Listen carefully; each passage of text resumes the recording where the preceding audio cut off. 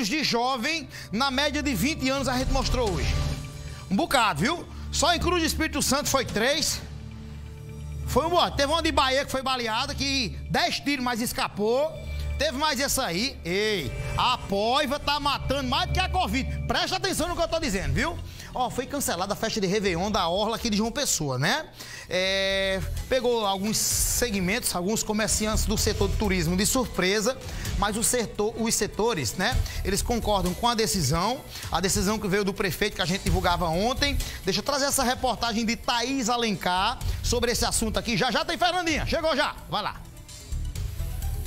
Nessa segunda-feira, a prefeitura anunciou que a festa de Réveillon que estava sendo preparada na capital foi cancelada. O motivo do cancelamento é evitar aglomeração.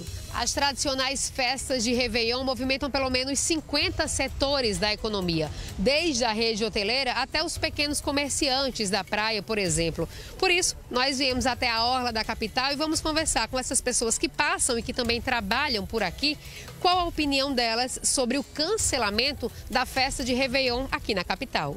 Esta pedagoga concorda com a decisão. Eu acho que ele fez certo. Por quê? fez certo, porque aí já, já as pessoas já estão já relaxando demais. Cristine tem um comércio informal na Orla e diz que cancelar a festa foi uma atitude sensata. Porque a situação da gente ainda não é 100% concreto que a pandemia acabou e eu acredito que para evitar outra paralisação futura e outros prejuízos para todo mundo, eu acho que foi a melhor opção. Esse comerciante, que também trabalha nas areias da praia, diz que será prejudicado com o cancelamento, mas não vê outro cenário para evitar novos possíveis contágios do coronavírus. Com esse aumento de casos, de a nova variante, eu acho que tá certo, porque ainda é muito muito cedo ainda para saber. Então, melhor prevenir do que acontecer alguma coisa mais grave no futuro, né? A rede hoteleira sofre o impacto com o cancelamento da festa.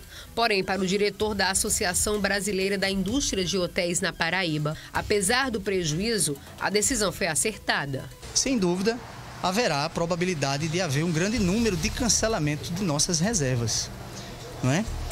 é mas é, nós somos favoráveis realmente ao cancelamento de eventos grandes como esse, eventos públicos grandes como esse. É, realmente aí também, né?